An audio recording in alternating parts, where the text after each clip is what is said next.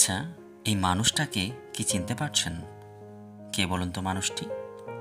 মানুষটি হলেন Johann Henrique পেস্তালৎসি। আচ্ছা জানেন ইনার কোথায় জন্ম?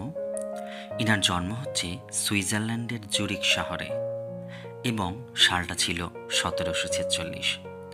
খুব অল্প বয়সী মানে একদম বাল্যকালই বলতে পারেন তার পিতৃর বিয়োগ হয়। খুবই প্যাথেটিক এবং একজন ধর্মভীরু শুদ্ধচারিণী নিঃস্বার্থ, নিরালস মাতা পেস্তালচির শিক্ষার ভার নিয়েছিলেন। মায়ের শুভ প্রভাব পেস্তালচির জীবনে যে গভীর ছায়াপাত করেছিল সেটা তার জীবন দর্শন যদি পড়েন, তার শিক্ষা দর্শন যদি পড়েন খুব সহজেই সেটার কিন্তু একটা নাগাল পাওয়া যায়। তিনি বলেন যে স্নেহপূর্ণ, সংযত, গৃহই হচ্ছে শিক্ষার উপযুক্ত স্থান। গৃহটাকে না উনি ভীষণ ইম্পর্টেন্ট দিয়েছেন এবং ওনার কতগুলো আউটস্ট্যান্ডিং স্পিচের মাধ্যমে আমরা বিষয়টাকে বলব যে সত্যি অভাবনীয় গৃহটাকে কি এইভাবে দেখা যেতে পারে? এটা উনি কিন্তু অন্য ধারার চিন্তা ভাবনা করেছিলেন। হ্যাঁ এই প্রসঙ্গে একটা কথা বলে রাখি। উনি যে গৃহের প্রতি শুধুমাত্র এমফ্যাসিস দিয়েছিলেন তা না, বিদ্যালয়টাকেও উনি একটা খুব সুন্দরভাবে বিষয়টাকে ব্যাখ্যা করেছেন। উনি বলছেন যে বিদ্যালয়টা শুধুমাত্র মস্তিষ্ক চালনার কেন্দ্র নয়, হৃদয় এবং হস্ত সেখানে শুভ উদ্দেশ্যে সুপরিচালিত হবে। কি সুন্দর একটা কথা। হ্যাঁ তো আমরা কথা বলছি বেস্তালসির মতো একজন আউটস্ট্যান্ডিং পার্সোনালিটি সম্পর্কে এবং বাল্যজীবনে তার ধর্মযাজক পিতামহের প্রভাব যথেষ্ট ছিল এবং পিতামহের মহৎ দৃষ্টান্তই তাকে ধর্মযাজক হতে উৎসাহিত করেছিল। এই ছিল তার সামান্য বাল্যকালের কথা, খুব অল্পের মধ্যে আমরা বললাম। One thing I cannot but mention তিনি কিন্তু বেশি দূর ফর্মাল এডুকেশনটা করেননি। কিন্তু কিন্তু তিনি একজন মহান চিন্তাবিদের সংস্পর্শে এসেছিলেন। জানেন তিনি কি? তিনি হচ্ছেন রুশো। এবং এ প্রসঙ্গে আরেকটা জিনিস বলার যে তিনি তার সন্তানকে রুশোর শিক্ষা ভাবনা অনুযায়ী মানুষ করার চেষ্টা করেন। রুশোর আদর্শে যেহেতু তিনি গভীরভাবে অনুপ্রাণিত ছিলেন, অর্থাৎ দেখুন ফর্মাল এডুকেশন না করেও মহান মানুষদের সংস্পর্শে যদি কেউ আসে না, তার জীবন কিন্তু বদলে যেতে পারে এবং সেই ইতিহাসের পাতায় নামও তুলতে পারে। একটা বিষয় কি জানেন তো, এই লোকটি কখনো দমে থাকেননি। এবং একটা খুব ইন্টারেস্টিং কথা বলি, যে সতেরোশো উনসত্তর সময়, সেই সময়টা আর কি, এবং তিনি নিউ হফে একটা পরীক্ষামূলক প্রতিষ্ঠান স্থাপন করেন। আপনারা জানেন এখন অনেক এক্সপেরিমেন্টাল স্কুল আছে, যেমন কল্যাণ ইউনিভার্সিটি এক্সপেরিমেন্টাল স্কুল এরকম তখনকার দিনে বিএড কলেজগুলোর সাথে একটা করে স্কুল সংযুক্ত থাকতো, যেখানে ইনোভেটিভ টিচিং লার্নিং নিয়ে সেখানে এক্সপেরিমেন্ট চালানো হতো। এগুলোকে বলছি আমরা এক্সপেরিমেন্টাল স্কুল এবং আপনারা খুব অবাক হবেন যে এই স্কুলটার উদ্দেশ্য কিন্তু আর পাঁচটা স্কুলের মতো ছিল না। এই স্কুলটার উদ্দেশ্য ছিল দরিদ্র কৃষকদের কৃষিকাজের উন্নতি সাধন এবং এই প্রতিষ্ঠানটা তিনি যদিও বেশি দিন চালাতে পারেননি এবং স্টেঞ্জে তিনি অনাথ বালকদের জন্য বিদ্যালয় প্রতিষ্ঠা করেন, দুর্ভাগ্যবশত এটাও বেশি দিন চলেনি এবং বার্গহপে প্রাথমিক বিদ্যালয় সহকারী রূপে তিনি তখন কাজ শুরু করেন। সালটা ঠিক সতেরোশো নিরানব্বই থেকে আঠারোশো চার এই সময়টা। এবং পেস্তাল হচ্ছে এই সময় এই বিদ্যালয়তেই কিন্তু কর্মভিত্তিক এবং পর্যবেক্ষণ ভিত্তিক পদ্ধতি তিনি কিন্তু প্রয়োগ করতে থাকেন।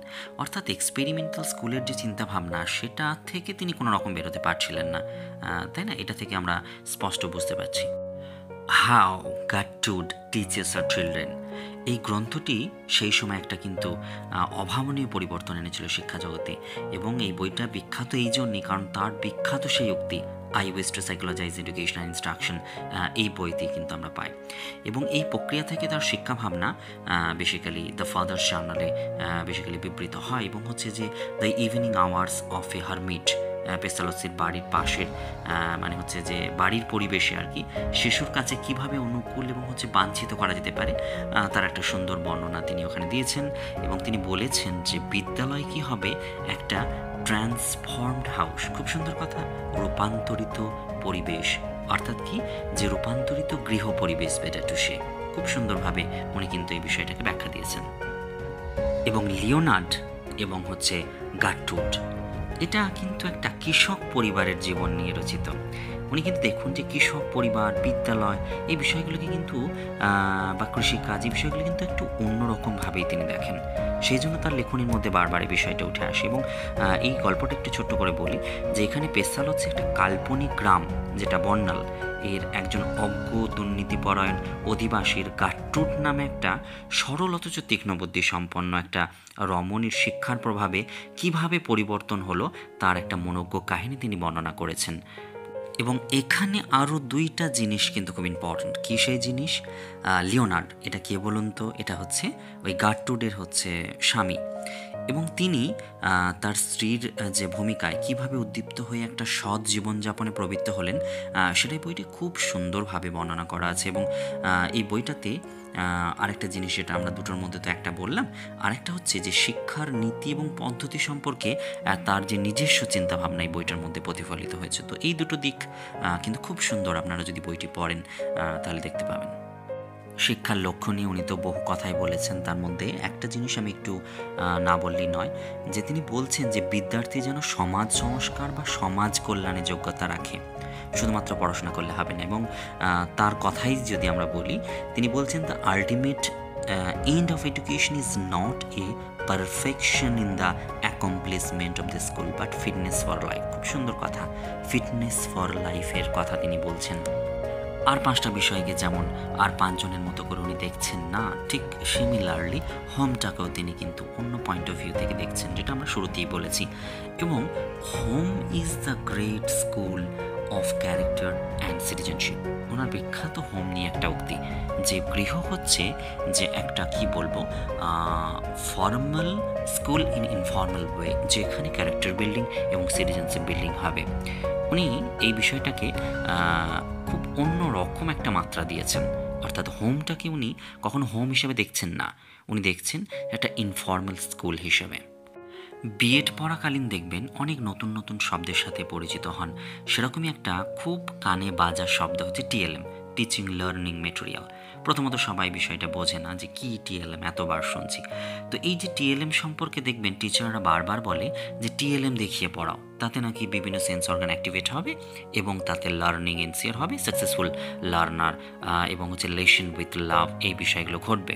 তো এই যে টিএলএম দেখিয়ে পড়ানো এই বিষয়টা দেখুন যে কত আগে উনি এই বিষয়টা সম্পর্কে আলোকপাত করেছেন। তিনি বলছেন যে I always put the picture before the eye and then sought for a word for the picture আমি আগে শিক্ষার্থীদের চোখের সামনে পিকচার রাখি দেন আমি একটা শব্দ সেই পিকচার সম্পর্কে তারপরে বলি। অর্থাৎ তিনি আগে বলছেন জিনিসটাকে দেখাও দেন তুমি পড়াও দেন তুমি একটা শব্দ বলো। এবং যেহেতু উনি রুশোর আদর্শে প্রভাবিত, তাই প্রকৃতি সম্পর্কে কিছু বলবেন না, সেটা তো হতে পারে না। এবং প্রকৃতি সম্পর্কে তার একটা বিখ্যাত উক্তি আছে, জানেন কি? তিনি বলছেন যে প্রকৃতির উদ্দীপকের কাছে শিশুর ইন্দ্রিয়গুলি মানে যখনই সাড়া দেয়, তখনই প্রকৃতি তাকে শিক্ষা দিতে শুরু করে। এই যে দেখবেন আমরা অনেক সময় বিএসএল বিএসএল এই শব্দটা এখন খুব শুনছি। বিএসএল মানে বাইট সাইজ লার্নিং একটা জিনিসকে কেটে কেটে কেটে কেটে সেই বিষয়টা সম্পর্কে পড়া।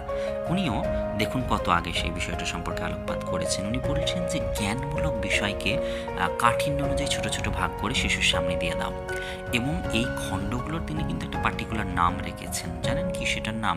সেটার নাম হচ্ছে সিলেবারিজ যেটাকে আমরা এখন বিএসএল বলছি। বাইট সাইজ লার্নিং ছোট ছোট করে কন্টেন্ট কে ভেঙে শিক্ষার্থীদের শিক্ষা দেওয়া। Most interestingly one thing I cannot but mention যে হোয়াট ইজ এডুকেশন এই নিয়ে বহু সংজ্ঞা, বহু মনীষীদের মতামত আছে। ইনার বক্তব্য একটু অন্যরকমভাবে আমাকে ভাবিয়েছে। তিনি বলছেন যে the main object of education is not to teach but to develop অর্থাৎ কি বলুন তো, যে, শিক্ষার কাজ বিদ্যার্থীকে কিন্তু শেখানো নয়, তাকে বিকশিত করে তোলা। কত গভীরভাবে একটা বিষয় নিয়ে ভাবলে এই ধরনের কথাবার্তা বলা যায়।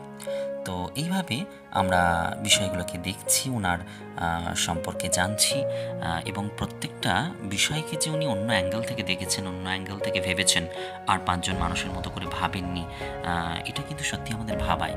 এবং যারা তোমরা গ্র্যাজুয়েশন বিএড বা এমএড স্টুডেন্ট আছো এনার প্রত্যেকটা বক্তব্যকে তোমরা কোট করতে পারো বিভিন্ন নোটসে এবং বাকিরা এখান থেকে শিখতে পারো।